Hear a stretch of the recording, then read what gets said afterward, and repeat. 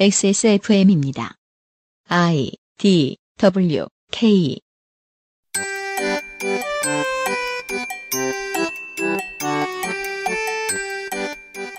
양산형 시사평론 민화문구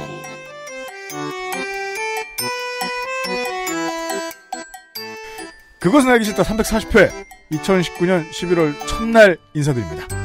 유승균 PD하고 윤수면 에디터입니다. 네, 안녕하십니까. 네, 미국 얘기로 넘어와서 미국 얘기를 할 겁니다.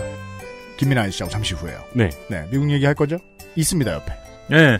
야, 선일e비즈니스고 이거 은평구 있는 거 아닌가? 어떻게 알았어요? 야, 은평구 짱! 좋은 그 마이스터고와 특성화고들이 은평구에 많아요. 네, 하지만 서울에 많아요. 그것은 알기 싫다는 건강한 비움 친구 평산네이처 디메이트 이탈리아에서 온 케이크 라파스티체리아 1인 가구의 첫 번째 가구 알스케어 폴더매트 2020학년도 서울시 교육청 특성화고 마이스터고 입학 안내에서 도와주고 있습니다. 건강기능식품 광고입니다.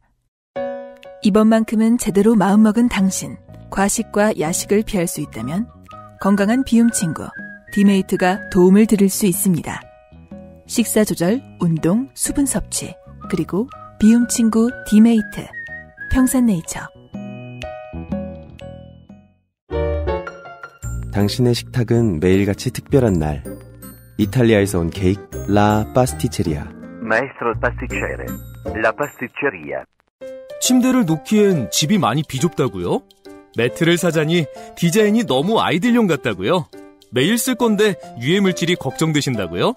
사이즈가 작아 혼자 눕기도 빠듯하다고요? 아이스케어 폴더 매트가 답을 드릴게요. 퀸 사이즈의 넉넉한 크기, 10중 고밀도 압축 내장품으로 만들어낸 안락함. 물티슈 하나로 청소까지 간편하게 어디에나 어울리는 모던한 디자인은 기본. 알스케어와 함께 나 혼자 산다. 알스케어 프리미엄 폴더 매트. 이제는 버디플라워가 예민한 꽃을 스마트폰과 화분을 사용하여 더욱 확실하고 특성화고 학생들을 위한 제1회 피칭 페스티벌 우수상 조도와 수분을 모바일로 조절하는 IoT 화분 대진 디자인 고등학교 재학생들의 작품입니다. 지금의 삶을 배웁니다. 2020학년도 서울시 특성화고 마이스터고 진학을 선택하세요. 특성화고 원서 접수는 11월 25일부터 자세한 사항은 서울시교육청 특성화고 홈페이지를 참고하세요. 이 라파스티체리아가 왕빵 아닙니까? 킹왕짱 왕빵. 왕빵. 네, 엄청 크게 파는 그거 아니에요? 네. 이탈리아에서 파시즘이 아니라 네. 큰 빵을 수입해왔어요. 어, 저희가. 이탈리아에서 수입을 해온 거예요? 아니에요. 아. 이탈리아에서 빵 그만 배운 장인을 수입했어요. 어. 그분이 지금 포천에 짱 박혀서 아. 빵을 매달아 놓고 발효시키고 계세요. 어, 그러면 그분은 매장이 포천에 있는 거예요, 그러면? 매장은 아니고 공장이 작업장이 아, 그럼 납품을 어디 하시는 빵만 매장 시켜놓고 그 알려드릴 수 없는 일부 커피숍과 베이커리에 아. 납품을 하고 계신데 야. 네, 어, 그 개인한테 파는 거는 액세스몰에서가 유일합니다. 와. 네, 여러분 빵 많이 사 드세요. 네. 나중에 그 어, 하나 사다가 김민아 아저씨한테도 들려보내기겠습니다. 네. 야, 네. 기대되네요. 네. 게임할 때는 정말 좋습니다. 아, 너무 기대되네요. 그리고. 끝난 다음에 키보드를 청소해야 됩니다. 네. 아, 그- 좀 슬프네요. 특성하고 마이스터고 입학 안냅니다. 네, 광고주가 직접 특성하고 현장 근무에 나섰더라군요. 나섰더군요. 조희연 교육감이 얘기입니다. 네, 지금 이 순간 저희한테는 사장이죠, 사장. 음, 조희연 사장. 그렇죠. 네. 조희연 광고주. 휘경공업고, 선일 이 비즈니스고, 경기기계공업고에 5일 동안 나가서 수업 참여도 하고, 교직원 근무도 하고, 지원 정책 고민도 했다고 합니다. 네. 어, 이런 거 할 때 조심해야죠. 그럼요, 선생님들은 죽어나죠. 보통 이런 경우에는 방문 예정인 학교들이 청소를 열심히 하느라 고통스러운 일 말고 좋은 게 없긴 합니다만, 특성화고 발전에 대한 서울시 교육청과 교육감의 의지라고 설명합니다. 그늘 자랑하죠. 어, 돈은 여기 훨씬 많이 들어간다. 네. 네. 특성화고로 홍보하는 입장에서 잘했다고 말해드리고 싶습니다. 특성화고 입학원서 접수 기간은 특별 전형이 11월 25일부터 11월 26일까지입니다. 음, 이틀밖에 안 되네요. 네. 합격자 발표는 11월 29일, 일반 전형의 원서 접수는 12월 2일과 3일입니다. 합격자 발표는 12월 4일입니다. 그렇습니다. 미약하나마 상당수의 특성화고들은 입학 삼- 상담 전문가를 운영하고 있습니다. 궁금하면 전화도 해보시고 방문도 해보세요. 그렇습니다. 네. 지금 한 달 정도 남았으니까 남은 기간 충분히 쓰셔가지고 고려해 보시길 바랍니다. 예, 알아보시고요.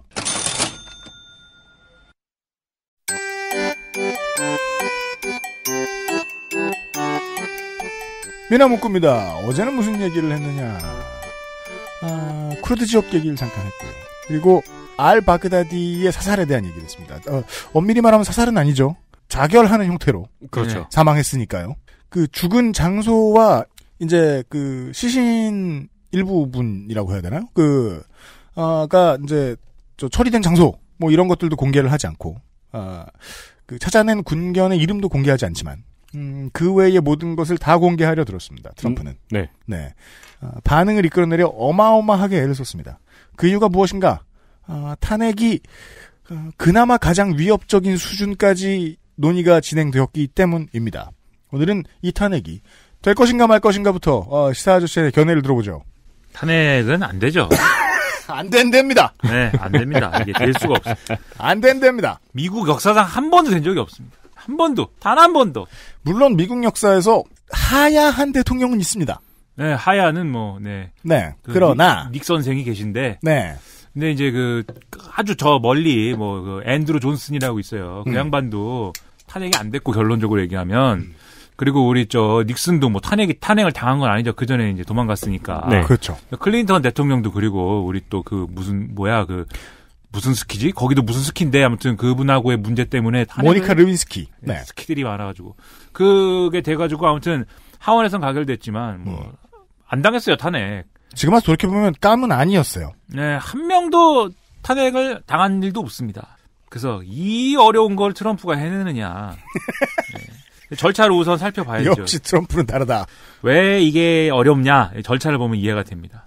먼저 하원에서 탄핵 조사를 결정을 해서 탄핵 조사라는 거는 과연 이게 탄핵을 할 일인가 아닌가를 알아봐야 된다는 거예요, 일단. 네. 맞습니다. 그래서 알아보고 결론을 내리면 탄핵 소추안을 이제 만들죠, 하원이. 네. 그래서 이거를 이제 우리나라로 따지면 국회 본회의에서 표결을 합니다. 예, 그래서 아, 과반 찬성으로 의결을 하고요. 그러면 미국은 이제 양원제이기 때문에 그 다음에는 상원으로 이제 절차가 넘어갑니다. 상원에서는 이 탄핵 소추안을 가지고 우리나라에서 헌법재판소에서 하듯이 공격과 방어를 해요. 그래서 어 연방 대법원장이 이 자리에서 재판장을 맡고 그다음에 상원 의원들이 배심원이 되는 뭐 이런 재판정을 떠올리면 됩니다. 음. 여기서 상원 의원 3분의 2 이상이 찬성을 해야 탄핵이 성립이 돼요. 그리고 지금 이제 현재 하원에서는 민주당이 다수당입니다. 네. 그렇기 때문에 하려고 들면 뭐 탄핵 조사와 탄핵 소추안 발의가 뭐 이런 처리가 뭐 불가능하지 않아요. 네. 상원에서는 통과될 수도 있습니다. 하지만 상원에서는 그러지 않아도 공화당이 다수고 네. 공화당 내 일부 뭐 반란표가 나온다든지 뭐 이런 시나리오가 있다고 해도 3분의 1을 채워야 되는데 최초에는 공화당 내에서 트럼프가 당선되만 될 때만 해도 워낙 당내에서도 인기가 없던 사람이기 때문에 네. 이것도 모르겠다라고 기대하는 분들도 많았고 저도 그 중에 하나였는데 네. 네. 지금 와서 보니 탄핵 안 됐어요. 결론적으로 우리 생각해 보면 우리도 옛날에 저 박동영 최통령 탄핵할 때 네. 예, 그 국회에서 표결을 어떻게 하냐 뭐 이거 가지고 얼마나 그 개고생이었습니까 그게 음. 예, 마찬가지 일을 해야 되는데 여긴 또 당이 두 개밖에 없는데 네. 잘안 되죠. 안 됩니다, 잘. 그래서 뭐 안 될 것 같은데 음. 그럼 안 되는데도 불구하고 민주당 안 될 거 알면서 왜 안, 안 되는 거 알면서 왜 이럴까? 그런 의문도 우리가 가질 수 있겠죠. 그렇죠. 예. 민주당이 기대하는 바는 있어요. 왜냐하면 이 탄핵 조사를 실시를 하고 그다음에 탄핵 소추안을 만드는 과정에서 트럼프 대통령이 또 얼마나 많은 또 이상한 일을 했느냐. 네. 그리고 얼마나 많은 이상한 일을 했다는 거를 자기 입으로 스스로 자랑하듯 실토하느냐. 그런 쟁점들이 있을 수가 있거든요. 그렇죠. 그래서 그런 거를 계속 하다 보면 지금은 사실 트럼프 대통령 탄핵 지지 여론이 그렇게 뭐 엄청나게 높게 나오지 않아요. 우리나라의 과거에 박통령, 최통령처럼 지금 트럼프 지지율이 뭐 4% 나오고 이러지 않다고요. 박근혜 대통령의 탄핵 국면이 만약에 미국에도 동일했다. 네. 라고 하면 아까 얘기 나왔던 닉 선생님처럼 네. 하야한 자진 하야하는 형태로 끝났지 않았을까라고 생각이 들어요. 그렇죠. 이미 대세는 물 건너갔다라고 음. 계산이 나면 그래서 민주당 전략은 닉슨 전략입니다. 그래서 이걸 계속하면 닉슨처럼 트럼프가 못 버티고 지쳐서 자빠져라. 더 이상 안 된다고 생각해서 집에 가- 집에 보낼 수 있다. 음. 이게 이제 민주당의 생각인 거고. 예. 반면 트럼프 쪽은 그렇게 생각하지 않습니다. 이 사건이 뭐 탄핵이나 하고 뭐 이럴 일이 아니다라고 생각합니다. 음. 그래서 민주당의 유일한 하고 싶은 뭐 항상 어, 유일하게 하고 싶어 하는 일은 탄핵뿐이지 않느냐라고 하면서 만약에 하원에서 탄핵 소추안이 가결될 경우에 자기 지지층이 결집하고 공화당 지지 여론이 위기감 때문에 네. 드높아지면서 나한테 오히려 유리한 국민이 올 수 있다라고 트럼프 진영은 생각합니다. 오묘한 정치적 수사입니다. 그래서 야, 네. 너네 나 표결 올리면 선거 진다? 음, 상원에서 부결되면은 역풍이 불 거다. 그 양쪽 정치인들한테 다 뭔가 정치적 메시지를 내보내고 있어. 민주당한테는 그런 얘기를 하고 있고 공화당 의원들한테는 표결에 참여한 탄핵 표결에 참여한 정치인으로 남을래? 라는 메시지를 남기고 있어요. 계속해서. 네. 그러면 어떻게 패가 망신하는지 한국의 사례를 한번 보기 바란다. 커리어의 5점이 될 거야. 한국의 이 탄핵 찬성한 어, 어, 과거의 보수 정치인들은 어떻게 살고 있나. 음. 너네 한번 가갖고 견학을 한번 가봐라. 공천 국물도 없애는 마. 네, 무슨 이렇게 비굴하게 살고 있다. 아무튼 그걸 뭐 이렇게 이 사례는 굳이 얘기하자면 클린턴 사례입니다. 그래서 손학규에 끌려다닐 줄 알아. 네. 아무튼. 클린턴 대통령이 이제 하원에서 가결됐는데 그 다음에 자기 지지층이 이제 결집해가지고 그 다음에 이제 선거에서 이겼어요. 빌 클린턴은 그러했습니다. 네, 그래서 클린턴의 사례가 될 것이야라고 생각을 해서 이렇게 좀 어, 닉슨이냐 클린 닉슨의 사례냐 클린턴의 사례냐를 두고 싸우는 국면처럼 돼버렸습니다. 네. 네. 근데 조 바이든이 이 의혹이 제기된 다음에 이 의혹이 그 양날의 칼인 게 트럼프한테도 해, 해가 되는 거지만 조 바이든한테도 뭐 굳이 좋을 건 없는 얘기잖아요 이게. 왜냐면 우크라이나 이야기를 할 때마다 클린턴 얘기로 끝나지 않고 자꾸 자기하고 자기 아들 얘기도 걸려 나옵니다. 그 좋을 게 없기 때문에 어 뭐 어, 이게 뭐 클린턴 얘기가 아니라 트럼프 얘기로 끝나지 않고 음. 예, 그 이게 뭐 좋을 게 없기 때문에 조 바이든 지지층에서도 아이씨 괜히 조 바이든 밀었다가 본선 가가지고 이거 또 빵꾸 나는 거 아니야? 이 생각을 할 수 하지 않을 수 없게 만드는 거죠. 민주당 내부의 의견이 살짝 갈라지기 시작합니다. 바이든 진영에서는 꼭 탄핵 국면이 더 가야 되나라는 생각을 할 수 있습니다. 음. 예. 나머지 모든 경선 캠프는 그렇게 생각하겠죠. 그래서 바이든 지지층이 이제 살짝 주춤한 틈을 타서 트럼프의 표현에 따르면 포카혼타스인 엘리자베스 워렌. 엘리자베스 워런 선생께서 네. 네, 치고 나오면서 지금 1등 하고 있어요. 네. 그리고 원래는 이제 강력한 대항마였던 버니 샌더스 할배는 음. 예상했던 대로 건강 건강 이상이 오셔가지고 그렇죠. 불행한 네. 상태고 엘리자베스 워런은 약간 복잡하겠네요 전략이. 여기는 약간 성실한 성실한 후보 전략이에요. 그래서 나는 정책 적으로 짱짱맨이고 네. 모든 시나리오에 대해서 준비된 정책을 갖고 있고 내가 뭔가 정책에 대해서는 누구한테도 지지 않아. 뭐 이런 시나리오예요 지금. 그러니까 엘리자베스 워런 입장에서는 지금 탄핵 표결까지 결국 가는 게 자기한테 유리할지 아닌 게 유리할지 어, 뭐 원래부터 자신은 있었다라는 마음인지 예, 지금 스탠스는 좌고우면 하지 않는다. 뭐 너희들 탄핵하고 싶으면 하고 말고 음. 싶으면 말고 나는 어쨌든 대통령 이미 대통령인 거나 마찬가지니까 왜냐면 정책적으로 준비되어 있기 때문에 네, 이거 그렇죠. 하나 내가 나한테 물어보고 싶은 거 있으면 다 물어봐라 이렇게 가는 거죠. 맞습니다. 네. 그런 그런 지금 전략이에요. 음. 네, 뭐 그래서 약간 엘리자베스 워런이 치고 올라오면서 약간 김이 빠지는 것 같은 이런 상황이 됐습니다. 네. 조 바이든이랑 트럼프랑 막 싸우는 이런 국면이어야 이게 재미나는데. 그, 그, 민주당 내에서는 크로스가 지나간 게 아니냐, 지금. 네. 엘리자베스 워렌과 조 바이든이. 음. 이제 조 바이든은 꺾이는 상황만 남은 거 아니냐. 특히나 이 탄핵 국면이 계속된다면. 네. 근데 또 몰라요. 왜냐면 이게 그 쟁점만 있는 게 아니라 어 진보냐 중도냐의 쟁점이 있잖아요. 지금 민주당은. 진보냐 중도냐의 쟁점에서는 다시 한번 앤드류 양인가 네. 이런 사람들이 등장을 하고요. 네. 네. 그래서 이걸 이 과거의 버니 샌더스 돌풍처럼 음. 진보 후보 돌풍으로 트럼프 이길 거냐. 그렇죠. 아니면 그거는 어쨌든 뭐 아니면 힐러리 클린턴과 가장 비슷하되 조금 보완한 그렇죠. 버전으로 내놓느냐. 힐러리보다 아주 힐러리보다 그러니까 아예 중도로 가버린 힐러리보다 센 중도 후보를 낼 거냐. 조 바이든. 그런 게 있기 때문에 아직 끝까지 가봐야 알 것 같습니다. 어느 쪽이 될지는. 근데 그렇습니다. 아무튼 지금은 어- 일단 그래요. 네. 그래갖고 그런 상황이기 때문에 어, 트럼프도 이슬람 국가의 대장을 이렇게 죽이는 걸로 이 상황을 좀 정리해 보려고 한 거 아니냐. 맞습니다. 이런 생각을 해본 거고요. 그 다음에 이제, 그 다음에 이제 그, 어, 트럼프가 왜 이렇게 자랑하는 거냐에 대한, 그 다음에 이제 시나리오인 시리아 철군 문제에 대한 태도이다. 이거는 짚어봐야 되는데요. 트럼프 대통령이 최근에 시리아에 주둔하고 있는 미군 철수시키겠다. 이렇게 밝히면서 또 난리가 나 있는 이런 상황이죠. 네.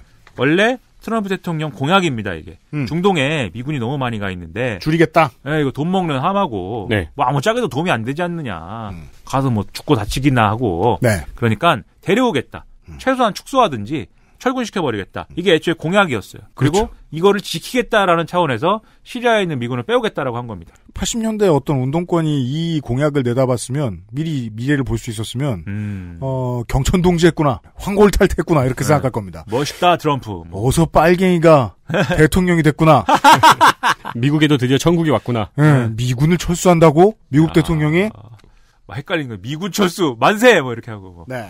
아무튼 뭐 이렇게 되니까 트럼프 입장에서는 그러니까 뭔가 약속을 지켜야 되는 모습을 보여야 된단 말이에요. 왜냐하면 지금까지 사실 트럼프 지지층들이 트럼프를 뽑아준 이유는 쓸데없는데 돈 쓰지 말고 세계 경찰 국가 이런 거 하지 말고 네. 어디 가서 뭐 전쟁 이런 거 하지 말고 세계 평화 안 지켜도 되니까 일자리나 많이 만들어 주시고 음. 우리 그 우리나라 공장에서 만드는 제품에 대한 지원이나 팍팍 해주고 네. 기존 공화당 네. 지지하는 우파와 트럼프 지지하는 우파는 이렇게 의견이 다릅니다. 네, 좀 이렇게 좀 해주시오. 이게 이 마음을 안고 대통령이 된 거란 말이죠. 제조업을 되살려라. 근데 네. 또그 돈을 빼가지고 제조업을 살리진 않고 장벽을 짓고 있잖아요.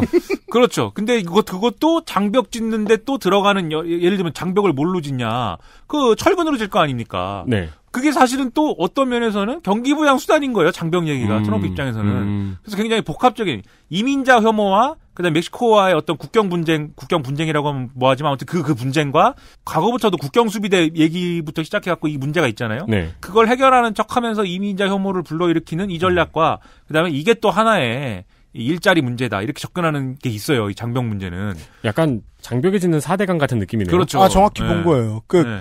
결론을 토건으로 내는 습관을 어디서 배웠느냐? 음. 이명박한테 과외 받았느냐? 네. 자랑스럽습니다. 왜냐하면 토건은 욕을 먹으면서 일단 들어가면 뭔가 고용을 하는 것처럼 보여요. 일, 자랑스럽습니다. 일순간. 그럼 와서 과외비라도 좀 내든가. 그리고 과외비만 내야 됩니까? 우리 돈 뺏어가서 거기 안 되는데? 그렇죠. 야. 그 네. 저기 뭐야 70조 달라 그랬잖아요. 야, 뭐야? 네. 아무튼. 타액 당해야 되겠는데? 아무튼 뭐 뭐지? 뭐 어 그 그 약속을 지켜야 되는데 지금까지 성공적으로 약속이 지켜진 게 별로 없어요, 사실. 이런 차원에서 약속을 한 게 예를 들면 중국을 한 대 그냥 때려줘 가지고 중국하고의 어떤 무역 분쟁에서 확실하게 내가 아, 우위를 찾아갔고 더 이상 중국한테 호구 잡히지 않는 경제로 하겠다. 그랬는데 아직도 중국이랑 무역 전쟁 그 무역 협상 하잖아요. 지지부진합니다. 네, 아직도 뭐 결론이 안 나고 네. 어디 그렇게 뭐 내세울 만한 거 없습니다. 음. 그러다 보니까 그러면 해외에 있는 미군이라도 빼오는 걸로 지금 생색 네. 내려고 이 얘기를 꺼낸 거예요. 음. 근데 문제는 뭐냐면 이렇게 꺼낸 것까진 좋은데 아까 뭐 지, 난 시간에도 말씀드렸듯이 이 시리아 북부에 이제 주둔하고 있는 거거든요, 미군이. 네. 근데 여기서 미군이 나가면 그 밑에 그 위에 있는 터키하고 그 시리아 북부에 있는 그 쿠르드족들하고 네. 싸움이 납니다. 그렇습니다. 예.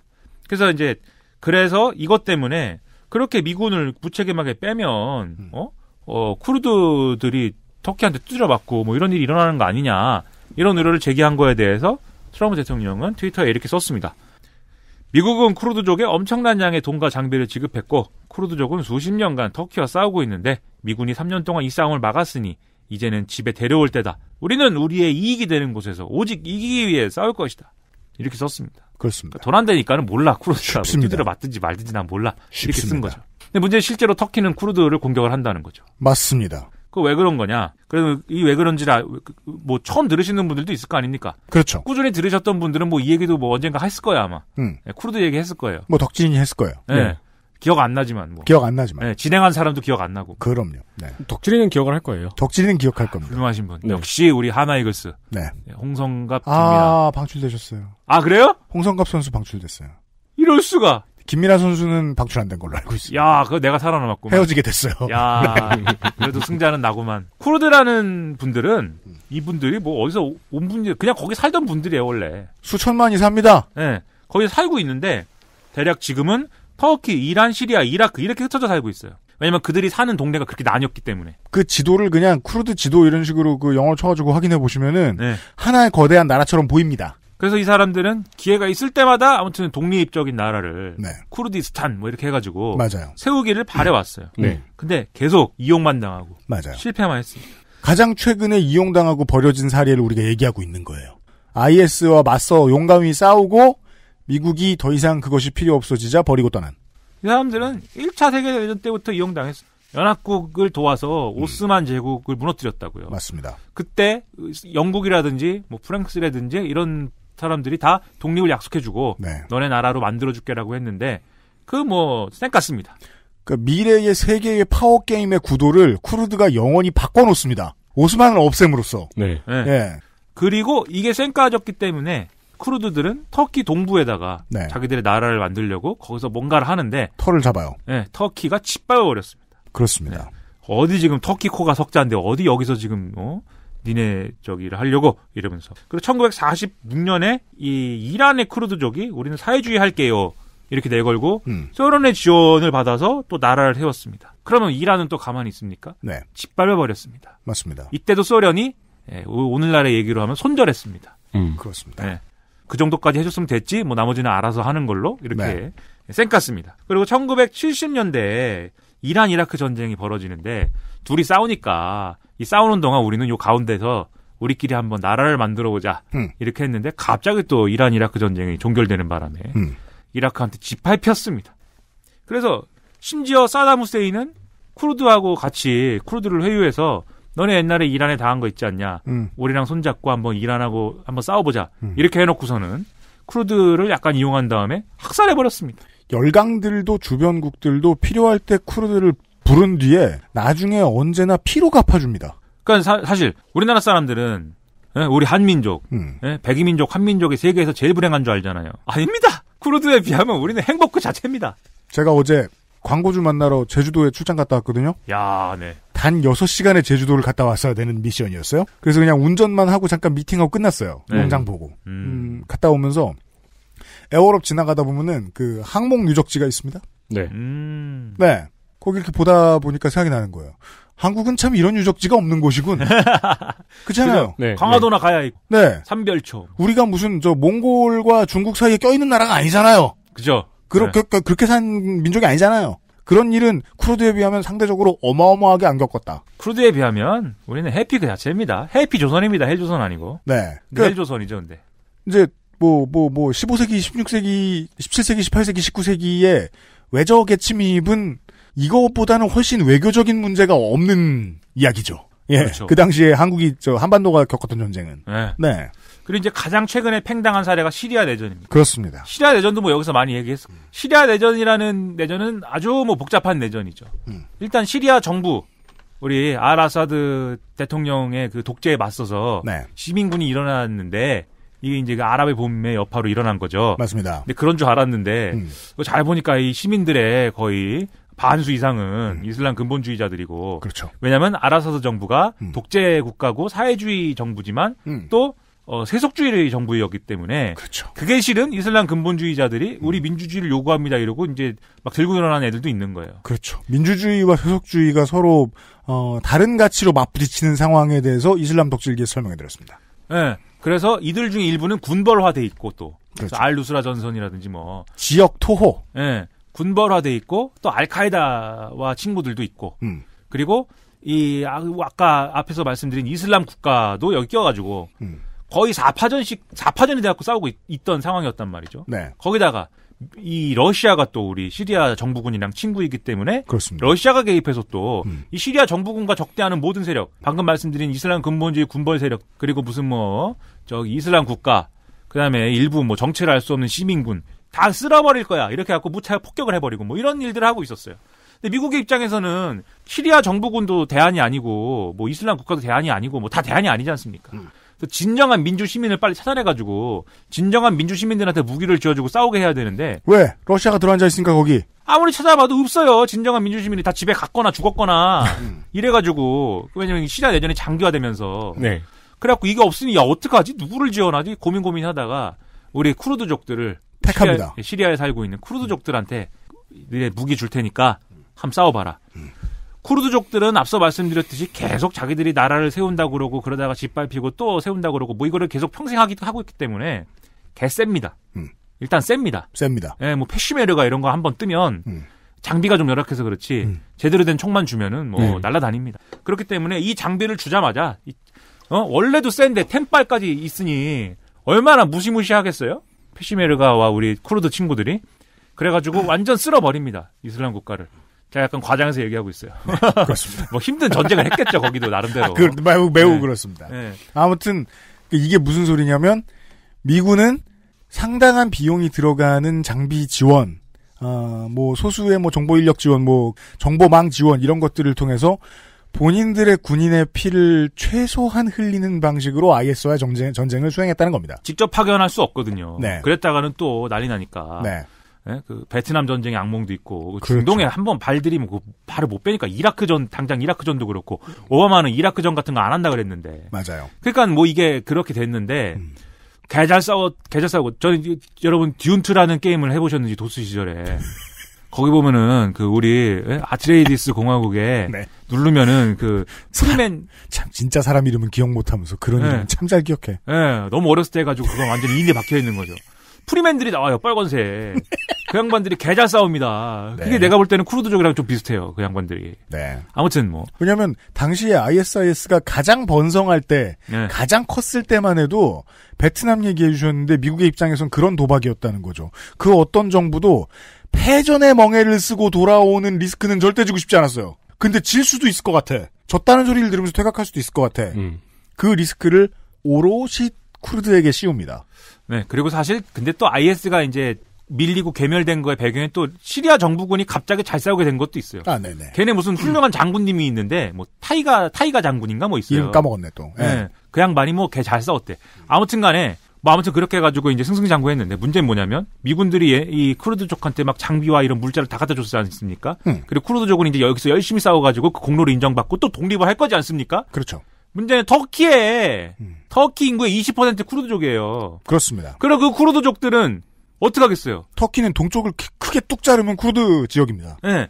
야 시리아에 사는 식구들이 이렇게 열심히 싸워갖고 이제 독립한댄다. 음. 우리도 독립하자. 가자. 우리 식구들하고 같이 살자. 붙자. 그러면 터키 대통령이신 우리 에르도안 선생은 어떻게 해야겠습니까? 이거 받아들일 수 없죠.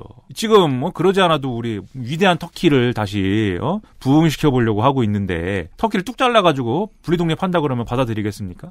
한번 이거 쿠르드 손을 한번 봐줘야 되는데 이렇게 호시탐탐 기회만 노리고 있었어요. 근데 미군이 가운데 껴있기 때문에 아까 말씀드렸듯이 시리아 북부에 미군이 주둔하고 있기 때문에 거기를 뚫고서는 쿠르드를 공격하러 갈 수가 없는 거예요. 그렇죠. 근데 트럼프 대통령은 미군을 빼지 않았습니까? 그러니까 이제 야 이제 때가 됐다. 가자. 예. 그래서 에르도안 대통령이 거기 있는 쿠르드 캠프를 개박살 내버렸습니다. 그렇습니다. 그리고 쿠르드 캠프에서 억류돼 있던 음. 이슬람 국가의 뭐 간부들 뭐 이런 사람들이 최 자유의 몸이 돼가지고 뛰쳐나갔습니다. 다 뛰쳐나갔습니다. 에르도안의 선택은 대저 그러합니다. 야 미군을 뺐더니 IS가 부활하게 생겼어 이런 얘기가 미국 내에 이제 트럼프가 싫은 지식인들이나 언론이 막 이렇게 얘기를 하기 시작한 거예요. 맞아요. 예. 미국에서의 지적은 이렇습니다. 그 쿠르드를 버린 대가로 기량작용 네. IS가 커진다 다시. 그래서 러시아가 다시 나서서 그럼 우리가 우리가 정리할게. 이 구역에 어, 이 구역 미친놈 나야. 쿠르드에 가서 쿠르드 지역의 자치구에 가서 다시 명함을 내밉니다. 나 알죠? 얘들아 모여봐 모여봐. 이렇게 한 다음에. 그래서 쿠르드는 이때 절박했다고요 상당히. 야 이거 씨 우리 또 팽당해가지고 터키한테 호구나 잡히고. 빨리! 그 전까지는 약간 견제하면서 서로 충돌 하긴 했지만 시리아 정부군한테 가가지고 시리아 정부하고 한번 저 사이좋게 지내자고 해보자. 그 시리아 정부군이 그래 뭐 쿠르드가 뭐 우리가 좀 그랬긴 하지만 러시아 소개시켜 줄 테니까 중재 한번 해보자. 음. 그리고 러시아 중재가 들어와서 러시아는 또 이 문제를 가지고 터키하고 얘기를 해서 야 터키야 그 싸워서 뭐 좋을 거 뭐 있냐 아, 지금 시리아에 사는 쿠르드들을 니네 터키에 사는 쿠르드라고 쿠르드하고 떨어뜨려 놓으면 되는 거 아니냐 이렇게 해서 쿠르드족들 이제 그렇죠 쿠르드족들을 터키 국경으로부터 저 멀리 이 물리도록 그렇게 중재를 했습니다. 그래서 일단은 그렇게 해결을 봤어요 러시아가 그런 상황이에요. XSFM입니다.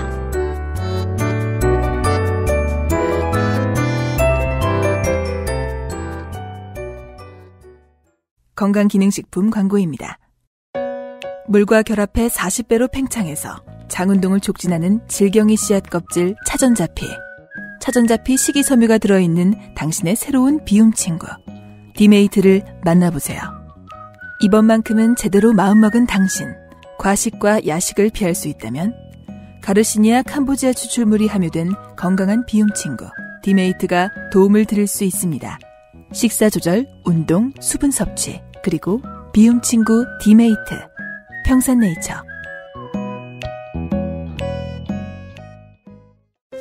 층간소음 걱정 없는 아이들 세상. 운동장을 아이에게. 알스케어 프리미엄 폴더 매트. Il pasticcere.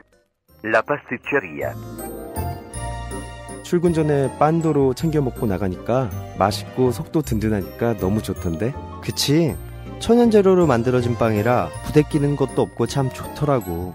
이렇게 식탁 위에 계속 놔둬도 되는 거야? 어, 그렇게 보관하는 거야. 이탈리아 전통 방식인 천연 발효로 만들어서 상온에둬야 더 맛있어. 방부제 들어간 거 아니야? 방부제는커녕 그은한 이스트도 안 쓴다고. 이탈리아에서도 파티에서나 올린다는 고급 음식을 매일 아침 먹을 수 있는 건 우리 동네에서 우리밖에 없을걸? 아무나 만들 수 있는 빵 같진 않아. 당신의 식탁은 매일같이 특별한 날. 이탈리아에서 온 케이크 라 파스티체리아.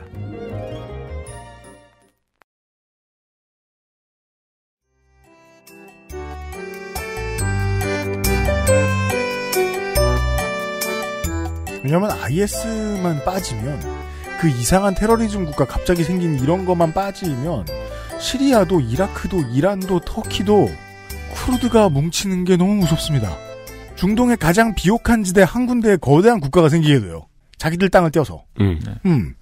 쿠르드들은 지금 그래서 분노하죠. 아이씨, 어 그 비비디 바비디 부에 알바그다디. 예, 우리가 속옷도 찾아 우리가 속옷을 찾아 속옷을 찾아줬대요 쿠르드족이. 속옷을 찾아서 미군을 줬대요. 음. 그러면 미군이 알바그다디를 사살한 다음에 이게 알바그다디인지 뭔지 확인해야 되니까 네. DNA 자료 필요한 거 아닙니까? 그때 화- 활용할 수 있 속옷을 갖다 줬는데 예, 그런 공도 무시하고 우리를 토사구팽했네. 그걸 받자마자 우리를 버렸다.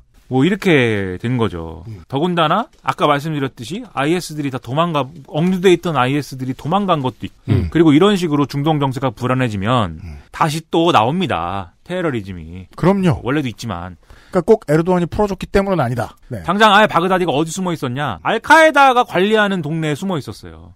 즉 원래 IS는 알카에다랑 서로 죽이지 못해 어? 그 안다라는 사이였는데 음. IS가 쭈그러드는 과정에서 그리고 알카에다가 오사마 빈라덴 죽고 나서 천하의 이런 그 악마가 된 상황에서 어느 정도의 무슨 또 뭐가 있었는지 모르지만 약간의 관계 개선이 이루어졌다는 증거가 약간 되는 거죠. 그렇죠. 그런 상황에서 이슬람 국가가 이렇게 찌그러지면 알카에다가 그러면 야 이제 이 동네에 또 미친놈은 나야 이러고 나오는 나올 수도 있는 것이고 네. IS가 하는 거 보아하니 네. 할 만한 사업이다. 라고 생각하는 사람들이 있을 거라는 거예요. 네. 근데 어쨌든 이런 위험을 안고 있지만 트럼프 대통령은 어, IS 부활 아니야. 왜 아니냐? 내가 알 바그다디 죽여버렸기 때문이지.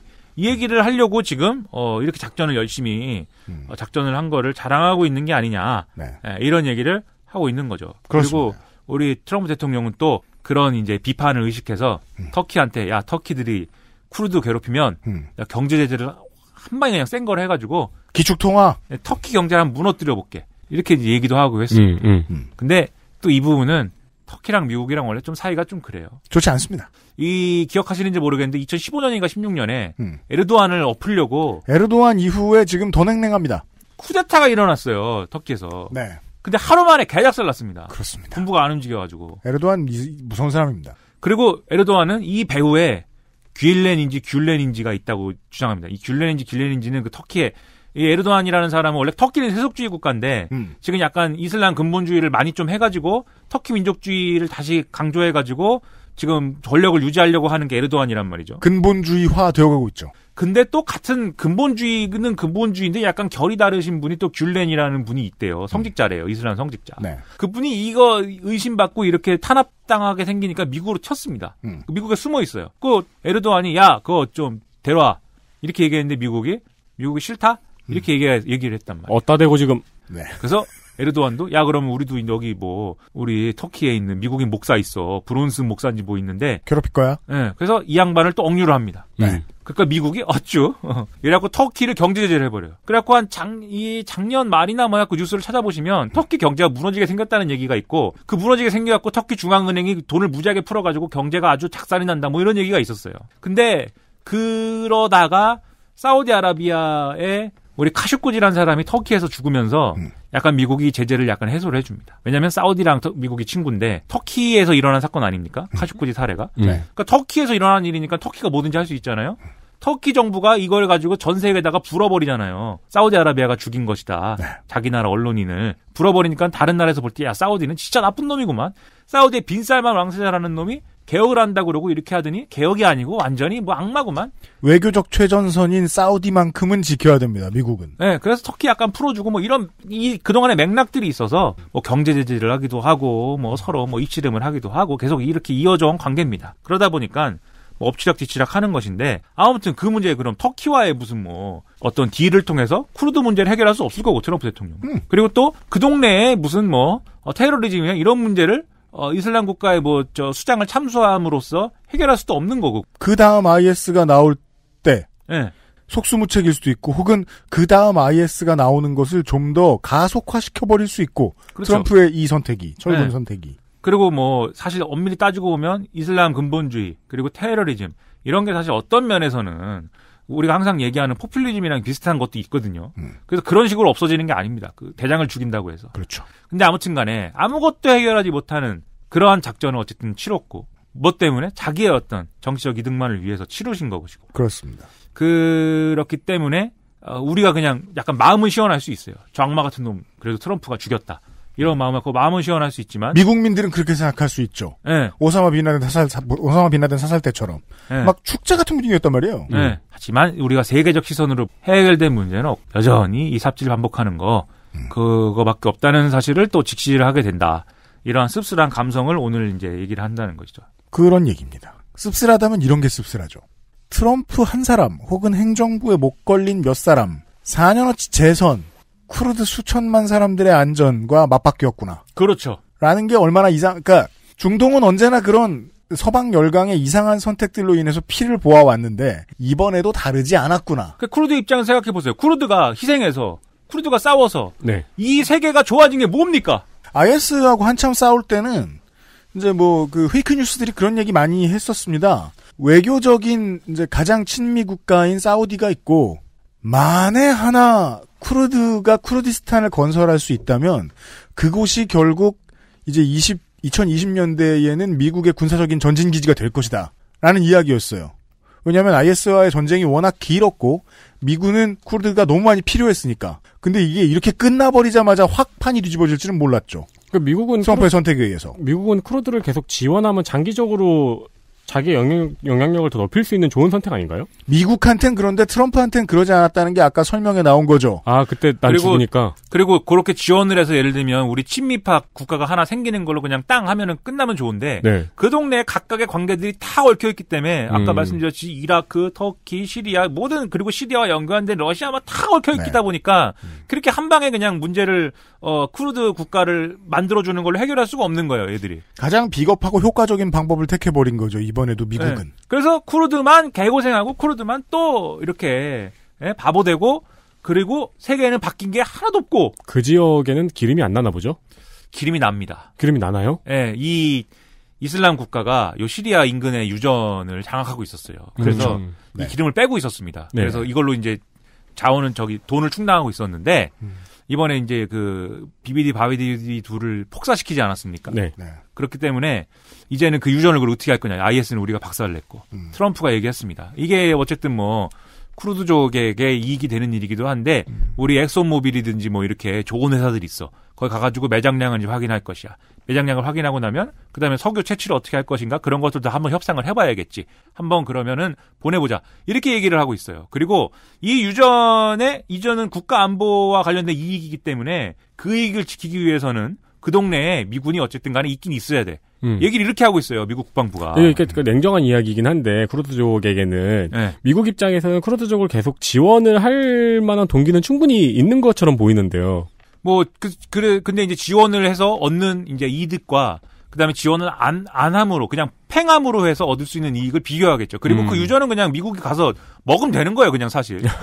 지금 먹겠다는 거예요, 트럼프는. 그리고 이 얘기를 하면서, 그럼 실제로 먹게 되는 거냐, 그건 몰라요. 왜냐면 이 얘기를 하면서 시리아 철군으로 인해서 사실은 긍정적으로 결정을 하신다잖아요, 또 트럼프 대통령이. 누가 얘기했냐. 폼페이오가 다 깠습니다. 폼페이오가.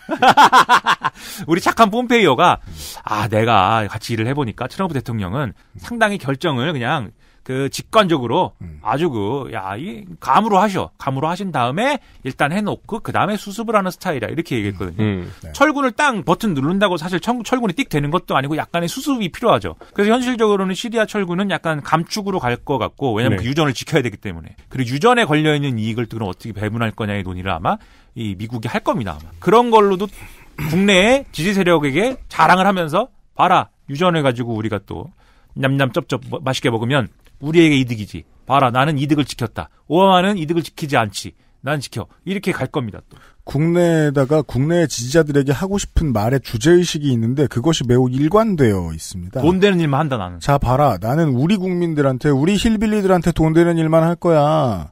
멕시코 사람들이 못 넘어오게 장벽을 쌓을 거고, 거기 앞에서 애들이 그네를 타든 말든 간에, 거기에 돈 조금 쓰는 거는 다 외국에서 충당받아 올 거야. 예를 들면 한국 같은 데에. 음. 그리고 외국에 지금 경찰 국가 한답시고 돈 쓰는 거 있지? 그것도 재전보다 훨씬 덜 쓰고, 최대한 안 쓰고, 다른 나라들이 다 나쁜 고객, 진상 고객들이야. 예를 들면 한국. 그래서 돈 더 받아올 거야. 네. 매파들 있지? 가서 돈 들고 나가, 돈 싸들고 나가가지고, 철, 철근 다 띄워가지고, 미사일 만들어가지고, 돈 뿌리는 전쟁 하자는 애들, 걔네들 다 자를 거야. 예를 들면 볼턴. 일관되어 있습니다. 지지자들이 요즘에 약간 의심을 품는 거죠. 당신이 그렇게 한다고 그랬는데 지금 사실 결산 내보니까 된 게 없는 것 같아. 이런 마음을 먹으니까는 아, 된 게 없다고? 아, 보여줄게. 된 게 있어. 그래서 시리아. 이렇게 간 거죠. 그죠. 그 레토릭 하나의 일관성. 사실 레토릭의 일관성이란 얼마나 많은 거짓말들을 하느냐잖아요. 정가에서는. 네. 얼마나 많은 거짓말들을 치밀하게 엮느냐. 그 거짓말 몇 개 엮느라고 쿠르드족이 이렇게 됐습니다. 네, 불쌍합니다. 네. 아, 이런 설명을 들었습니다. 네, 저도 불쌍하고요. 아우, 아니에요. 아, 그래요? 폰을 새로 산 지 며칠밖에 안 해. 지금 기득권이에요, 기득권. 어, 난 기득권, 난 네. 기득권이고 네. 다음에 나 배트맨 얘기할 겁니다. 이제 시계도 애플워치로 바꿀 때가 그, 어, 거길로 가려면 한 한 번 더 점프해야 되기 때문에 그렇죠. 쉽지 않네요. 그 다음에 이제 이어폰도 바꿔야죠. 아, 한 번 더 점프해야 되기 때문에 쉽지 않습니다. 일을 열심히 해야 하는 김민아 아저씨로 이달 중에 또 보겠습니다. 민아 아저씨 수고 많으셨습니다. 감사합니다. XSFM입니다.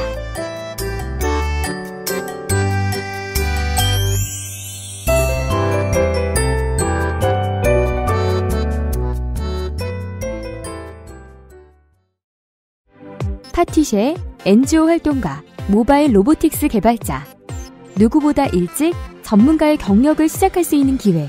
2020학년도 서울시 특성화고 마이스토고 진학을 선택하세요. 특성화고 원서 접수는 11월 25일부터 지금 포털 사이트에서 하이잡을 검색하세요. 아스트랄 뉴스 기록실 뉴스 아카이브 금요일 순서에 이번 주 뉴스 아카이브를 진행하도록 하겠습니다.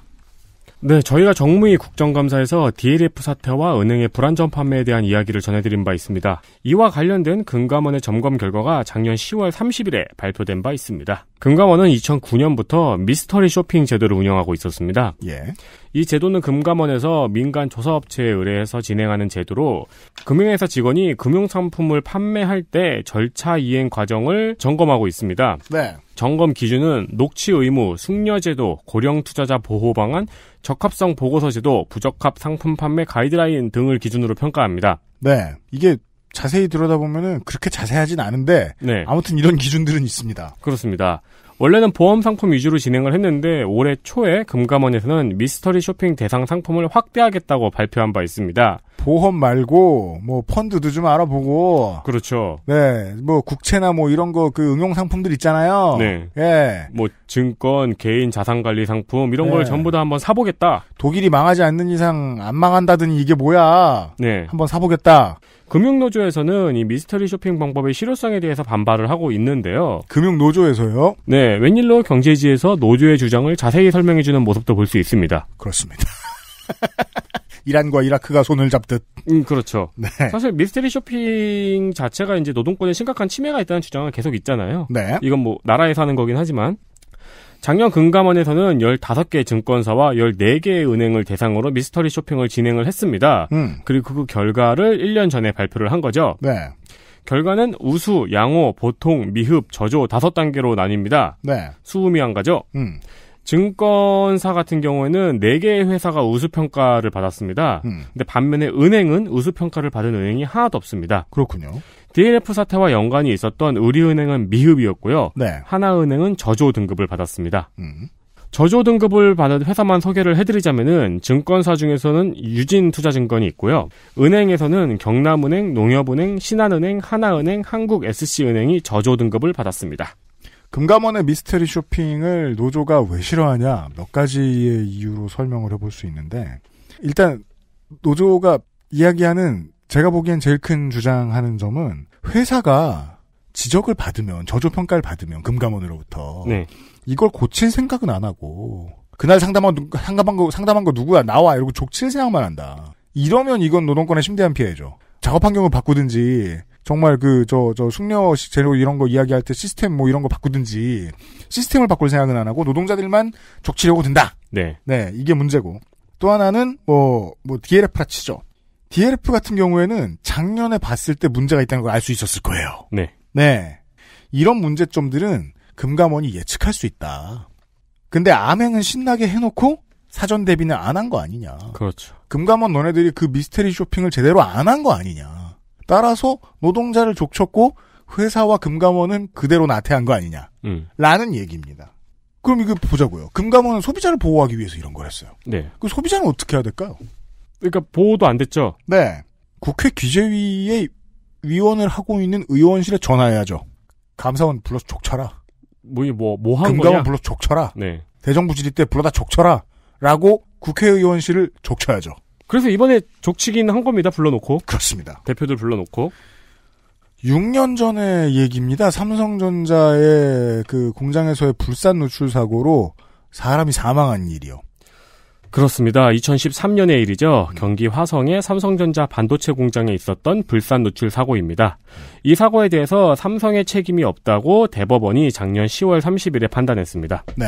그러나 화학물질 설비 관리를 맡은 회사 직원 3명과 하청업체는 책임이 있다고 인정이 되어서 벌금형이 확정되었습니다. 예. 마리아 방구야 싶죠? 음. 불산 노출 사고는 2013년 1월 27일에 삼성전자의 반도체 공장 화학물질, 화학물질 공급 설비에서 발생한 사고입니다. 작업자 1명이 사망을 했고요. 3명이 다쳤습니다. 네. 작업자들은 당시에 와, 안- 대법 9개월, 9개월밖에 안 걸렸어. 되게 빠르네. 작업자들은 당시에 안전보호구를 착용하지 않고 있었고요. 또 작업 장시에 내산 기능, 이제 불산이니까요. 내산 기능이 있는 보호복이 갖춰져 있지 않았습니다. 이에 대해서 삼성 측의 관리 직원과 하청업체의 책임을 인정하면서 벌금형의 판결을 내렸고요. 이 하급심에서 항소 없이 확정되었습니다. 네. 그러나 삼성전자 임원인 이 씨에 대해서는 무죄 판결이 났고요. 검찰에서 대법원까지 항소를 한 거죠. 대법원은 시설 점검 관련 업무의 최종 승인이 팀장 부장급에서 그친다고 하면서 임원에게는 책임이 없다고 보고 이를 전제로 적용한 삼성전자 측의 책임 또한 인정되지 않는다고 하면서 1, 2심의 무죄를 확정했습니다. 이상하죠? 결국은 죄는 아무도 없고 사람이 명확한 이유로 사망했는데 벌금형만 나왔어요. 이거에 대해서 상식적인 질문을 하지 않는 사회가 한국 사회이긴 하지요. 네. 그렇습니다. 그 이거를 이 기사를 다시 돌아보면 좋은 지점은 올 여름을 다시 생각할 때입니다. 한일 경제 갈등이 있고 난 다음에 불산 누출 사고가 난 직후를 되게 많이 얘기했어요. 그때부터 화학물질 관리법에 화관법에 공장 이거 불저 뭐냐 저 공장의 안전 기준이 70 몇 개에서 400 몇 개로 늘어났다. 그거 규제 때문에 지금 일본을 상대하는 기술을 개발을 못한다. 기회를 놓치지 않죠. 그러면서 경제지가 쉬지 않고 떠들었습니다. 한일 갈등이고 뭐 경제지 눈엔 이것만 보이는 거예요. 와, 뭘, 뭘 빨아줄까 했더니 이런 게 있었네, 이러면서. 네. 네. 네. 이, 이, 이걸 매국노라고 부르면 좋다고 생각합니다. 그렇죠. 이, 이해가 안 되잖아요. 사실 위에 금감원 이야기하고도 어떤 그 또 비슷한 게 뭐냐면은 결국 사람만 잘못이라고 사람만 족, 족쳤잖아요. 그렇습니다. 회사의 문제는 이야기하지 않고요. 맞아요. 17년 전 이번 주에 있던 얘기를 그 다음에 말씀드릴 텐데요. 아, 흥미로워요. 세상에 세기말이라는 시대가 있었습니다. 네. 오음진료요 방송 중에서 네티즌님이 했던 말이죠. 네. 세기말이란 영화도 있었어요. 맞아요. 세기말 장사는 90년대 초반부터 2010년대 중반까지 있었습니다. 음. 이게 이제 변종돼가지고 뭐 땅굴 장사도 있었죠. 최초로 크게 화제가 된 것은 무려 1992년 10월 28일에 있었던 다미 선교회의 휴거 소동이었습니다. 휴거라는 단어 90년대생 청취자 여러분들 잘 모르시지요? 정확히는 종말이랑은 조금 다른데요. 무슨 분리 휴거 이런 거 있을 것 같지 않나요? 아닙니다. 종말은 싹 다 죽는 거고요. 네. 휴거는 예수님이 하늘에서 내려와서 선택받은 사람들을 데리고 하늘로 올라간다는 뜻의 기독교 용어입니다. 아, 분리 휴거 맞네요. 어, 그러네요. 네, 인민 일부를 수거해가요? 그렇습니다. 1992년 다미 성교회라는 종교단체의 이장님 목사가 주도를 해서 1992년 10월 28일 영영시에 휴거가 온다고 하면서 헌금을 억 단위로 왕창왕창 뜯어간 사건입니다. 와, 17년 전 이번 주에 우리는 휴거를 통해서 천당으로 갔든지 죽었든지 할 뻔했어요.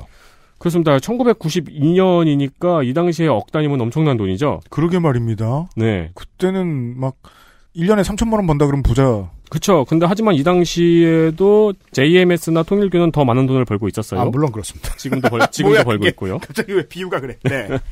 네. 재미있는 것은 이것 때문에 10월 28일 전국 100개가 넘는 다미성교회 지부 교회들이 휴거를 기다리며 단체를 예배를 했다는 겁니다. 그렇습니다. 이제 좀 있다가 우리는 하늘로 올라갈 거야 하면서 단체로 예배를 한 거예요. 맞아요. 전국에서 일어난 거죠. 근데 그 시대가 어, 뭐 10대였던 저한테는 되게 최신의 시대잖아요. 90년대가. 근데 지금 돌아보면 얼마나 원시적이었는가? 어, 적당한. 표현을 못 찾겠네요. 때가 이제 영시를 기해 가지고 기, 기도를 하는 거잖아요. 영시로 달려나가는 카운트다운 예배잖아요. 맞아요. 그렇기 때문에 이를 기자들이 마감 뉴스로 생중계를 했습니다. 네. 그때 12시에 이례적으로 사람들이 밤 11시에 뉴스를 봤습니다. 그렇습니다. 네. 해당 영상은 지금도 유튜브에서 1992년 다미 선교회라고 검색을 하면 보실 수 있습니다. 네. 휴거만 쳐도 나올 거예요. 그럴 거예요. 음. 현장은 시- 근데 휴거만 치면은 아직도 이거를 주장하는 종교단체 영상도 같이 떠요. 알겠습니다. 유튜브 오시겠네. 현장은 신도들과 그들을 뜯어 말리거나 데리고 가려는 가족들 그리고 만약의 사태를 대비한 경찰들과 기자들로 난리가 나 있는 상태였습니다. 심지어 부산이나 인천 그리고 전주의 비닐하우스 예배당까지 가서 전국의 상황을 생중계했습니다. 이거 보면 지금 보면 되게 다이나믹해요. 각 지역의 기자들이 여기는 인천입니다. 이 예배당에서는 이런 예배가 진행되고 있습니다. 네.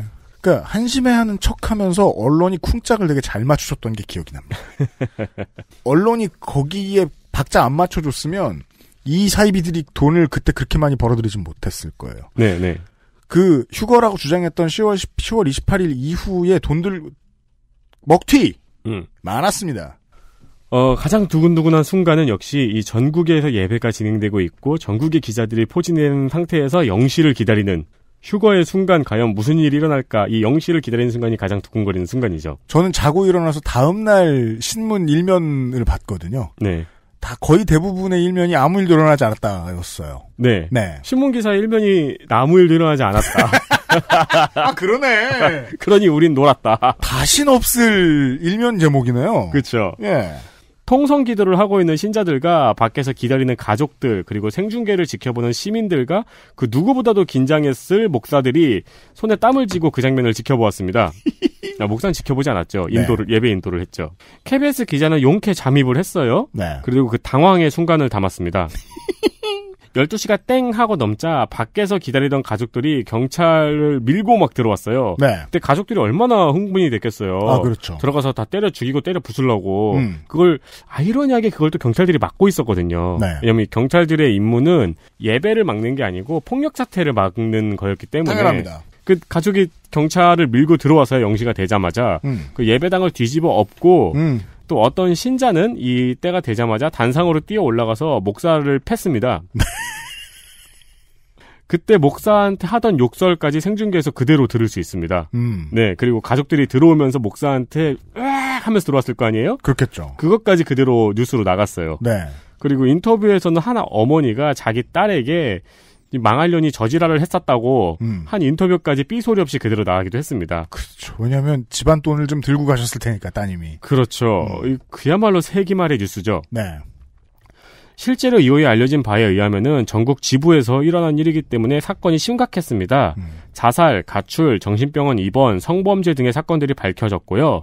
이를 주도했던 이장님 씨가 1993년이 만기인 금융상품을 구매한 것이 밝혀지기도 했습니다. 신기합니다. 네, 나는 버림받을 것이다, 이죠. 음, 신도들은 올라가고 나는 버림받을 것이기 때문에 나는 금융상품을 구매해야 된다. 네. 이 휴가 사태는 10월 28일이라는 날짜와 0시라는 시간을 정확히 예측했어요. 음. 그렇기 때문에 반증 가능성이 아주 높은 주장이었죠. 네. 그래서 반증됐고요. 때문에 그 아, 상대성 이론이 그 훌륭한 이론이라는 게 이것 때문이잖아요. 반증 가능성이 아주 높은 이론인데 네. 그 시간도 정확하게 맞췄다는 아, 그렇죠. 거. 네. 근데 이 이론은 못 맞췄어요. 네. 이것 때문에 다른 사이버 정보 사건과는 다르게 다미성교회는 바로 해체됩니다. 찍소리 못하고. 네, 그리고 현- 헌금들은 반환됩니다. 이장님 씨는 사기죄로 1년형을 살고 나와서 잘못했다고 했습니다. 음. 네, 지금도 목사님 하고 있어요. 아, 그렇군요. 목사님 하면서 자기가 잘못했다고 얘기하고 있어요. 음. 근데 당시에 이를 주동하고 주도한 사람이 한 명만 있을 리는 없죠, 당연히. 음.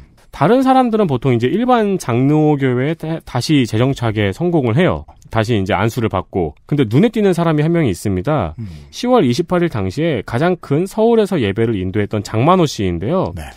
이 사람은 뭐 미국 가고 막 그랬나 봐요. 음. 거기다가 2013년에 이런 책을 냈습니다. 베리칩에 숨겨진 사단의 역사. 베리칩 많이 들어보셨죠?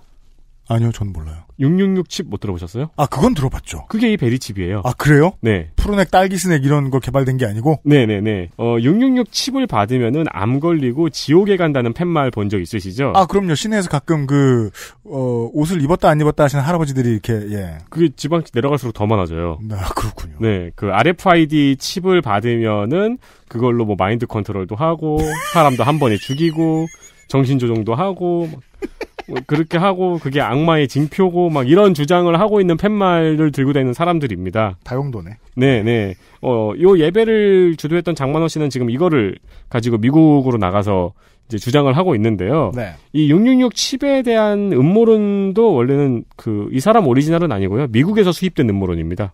그렇게 명맥을 유지하고 있습니다. 80이다 내가요? 와, 그렇겠네. 네. 그때도 나이 지긋해 보였으니까. 아, 이거 정말 정말 재밌네요. 네. 저도 제가 그때 몇 살이었더라. 아무튼 어렸어요. 네. 청소년이었어요. 사실 되게 비웃으면서도 1g 정도 궁금하지 않습니까? 제가 실제로 몇 퍼센트 마음이 궁금했는지 모르겠지만. 어, 그럼요. 네. 그냥 우리 저 동네 사람들 다 그런 얘기 막 하고 그랬었어요. 어떻게 나랑 보자고. 예, 좀 미친 사람도 어떻게 나랑 보자고 막. 그럼요. 근데 분명히 그 안에서도 어, 실제로 정말 일어날 것 같은데 이러면서 걱정하는 사람들도 있었을 것이고요. 음, 음. 어, 그리고 그 와중에 이제 돈의 흐름과 네, 성범죄가 있었다는 사실이 네. 어, 수긍이 갑니다. 이 서울 예배당은 저희 사무실에서 그렇게 안 멀어요. 아, 그래요? 네. 와. 마포구 어딘가예요. 네. 지금은 숲센터라고 숲이라고 크게 써져 있는 건물이 됐거든요. 아, 그래요? 네. 그거 뭔지 아십니까, 청취자 여러분? 아, 이 관계는 없습니다. 이 사이비 교단과. 알겠습니다. 네. 뉴스 아카이브였고요. 탄핵이 만약에 될 가능성이 없다고 시사 아저씨가 말씀해 주셨습니다만은 혹시 되면 어떡하나라고 아, 한반도 평화를 주제로 놓고 걱정을 하시는 분들이 계십니다. 그 근데 그거는요 대한민국의 관점에서 보더라도 우리는 어떤 파도를 타고 뗏목을 이제 타고서 이렇게 안 뒤집어지고 가는 게 우리의 미션이잖아요. 네. 사실상 대한민국의 외교적인 미션은 그렇잖아요. 이 한반도 평화에 있어서. 네. 어떤 파도가 또 모- 몰려올지는 모르겠습니다만은 트럼프라는 wave를 타고 요만큼 왔거든요. 뭐 앞으로 트럼프 임기가 얼마나 남아있을지 모르겠습니다만은 그리고 트럼프의 임기 동안 모든 게 다될 리도 없습니다. 트럼프가 재선이 된다고 하더라도 그건 마찬가지라고 생각합니다. 네. 그때만큼 된 자산을 가지고 어, 미국이라는 민주국가가 그 다음번에 정권이 바뀌었을 때 외교적으로 또 어떤 스탠스를 취하는지 보면서 그 다음 스텝을 더 고민해야 되는 거죠. 이거는 그냥 대통령 한 사람, 청와대 몇 명, 외교부 몇 명, 이 사람들이 너네 고생해서 몇 년 내로 저 한반도 평화 이뤄내라 이렇게 생각할 문제가 아닙니다. 네. 그리고 사실 우리는 트럼프 당선됐을 때 이럴 줄 몰랐어요. 맞아요. 네. 네. 아, 그냥 편안하게 생각해도 될 것 같아요. 최초에 이제 그 문재인 정부의 지지도가 극한까지 올라갔던 이유가 극적인 요소들을 극적으로 많이 보여주다 보니까 음. 이게 빨리 올까봐 였거든요. 네. 지금 와서 얘기할 수 있을 것 같아요. 이건 아주 빠를 수도 아주 느릴 수도 있다. 이런 과학적인 레토릭을 쓰는 게 당연하다. 음, 그렇습니다. 네, 네, 네. 아, 한국은 그렇다. 미국에서 도널드 트럼프 싫으신 청취자 여러분 어, 고생 많으셨습니다. 확률은 낮다지만 어, 되면 되는 대로 좋을 것입니다. 그 고생 많으셨습니다라고 확정적인 발언을 하기에는 조금 멀지 않나요, 갈 길이? 그, 뭐, 그렇죠. 네, 거기 사실 지금까지 많으셨고 네, 네. 고생 끝이란 말은 아닙니다. 네. 최선되면 어떡하려고. 네. 되면 되는, 그니까, 최선이 아니라 탄핵이 되면 되는 대로 참 좋은 일일 것입니다, 모두에게. 미국과 중동 얘기를 전해드린 목요일과 금요일에 그것은 알기 싫다였습니다. 내일 이 시간에는 다시, 어, 한국으로 돌아와서, 방송국은 하지 않는 방송국 얘기로 오랜만에 돌아오겠습니다. 내일 이 시간에 다시 찾아뵙죠. 윤세민 에디터 오유승균 PD였습니다. 안녕히 계십시오. XSFM입니다. I D W K